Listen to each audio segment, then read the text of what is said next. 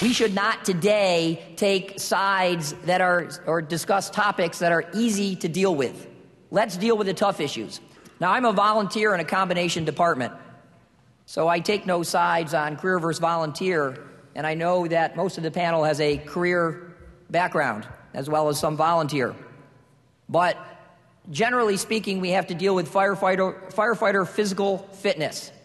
And so, my question to you is how fat is too fat? How old is too old? How sick is too sick? And when is enough enough? Realizing that this is not just a career issue, this is also a volunteer issue. On the volunteer side, we may very well lose a good portion of our membership if we are too fat or too old and can't do the job. So I turn to you guys. You know, doctors can determine whether or not you're capable based upon existing standards. I think at some point when you get too old, it's, it's a determination between the fitness end of it and, um, uh, you know, what's important to you. I mean, I, I think all of us would love to keep going to fires forever, but at some point you go beyond the part where you're of value. And particularly addressing the volunteer issue, maybe there's other roles, but, you know, we see many of our, and Ron can certainly, I serve on Ron's board of directors as well, and we see a significant amount of firefighters who, quote, die in the line of duty, and I'm not being disrespectful uh, you know, 79 years old at the fire scene. Well, you're probably going to die soon anyway, and I'm not being mean. But, you know, at that point, you know, I know when I hit 79, that's borrowed time. And, uh, you know, maybe not getting up at 3.30 in the morning for an auto accident at 79 years old uh, needs to be reconsidered. The problem is, is that we have communities that accept the fact that the primary driver of a volunteer fire department lives three doors down maybe uh, have been in that volunteer fire department their entire life and maybe 72 years old or in one case 90 but uh, you know that's what that community accepts as at risk. That doesn't make it right but that's what that community says is okay. And i think that's where we as the fire service need to tell that story that that isn't what's best for all of us.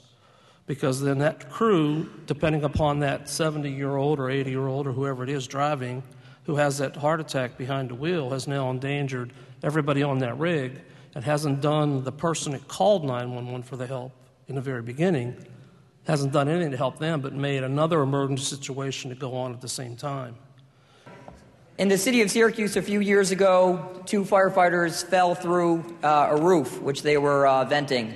They were not wearing SCBA. So the issue came up should we be wearing SCBA on a roof? For being on the roof, that SCBA, it adds 35 pounds. It limits my mobility. It limits my vision. It makes it a little bit more restrictive for me to get around.